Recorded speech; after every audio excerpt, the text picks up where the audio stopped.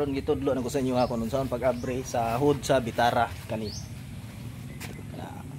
Suzuki Bitara.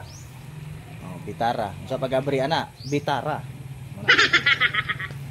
Ang uban nga mga sakyanan nana diri ang kilid.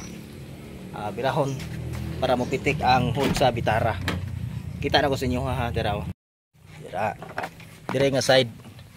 Ang uban nga service na ana diri kung mag-abri mo sa hood. Na diri oh. Na diri ang uban diri. Uban pod na po diri skilid pero ang bitara wala. Makita nimo diha wala na diha.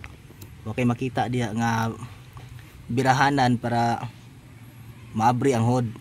Diri sad wala pod. O karon asa. Asa di ay ang iyahang ah, lock o yahang birahan birahon nato para maabri ang hood o nasa pikas di ay dito.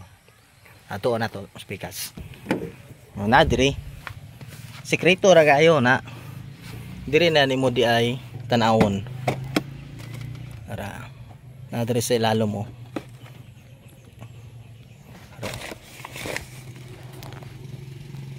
Na kita mo na nara mo na siya Mupiti na na dito.